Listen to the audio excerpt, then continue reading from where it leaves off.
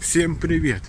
Вот интересная информация появилась со стороны Грузии в отношении Михаила Саакашвили, который прибыл контейнером в Грузию. Стало известно, что якобы спецслужбы Грузии знали изначально все о прибытии Саакашвили, вплоть от того, как он тут в Украине уже планировал прибытие. Вот как вы считаете, это реально так или нет? Я считаю, что тут 50 на 50. Есть информация, что он уже 4 дня в Грузии находился.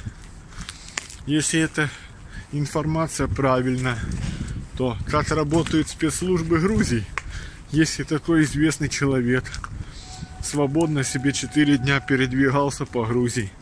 А с другой стороны, доверять сторонникам Саакашвили, что он, что он уже 4 дня в Грузии, тоже мало вероятность этого.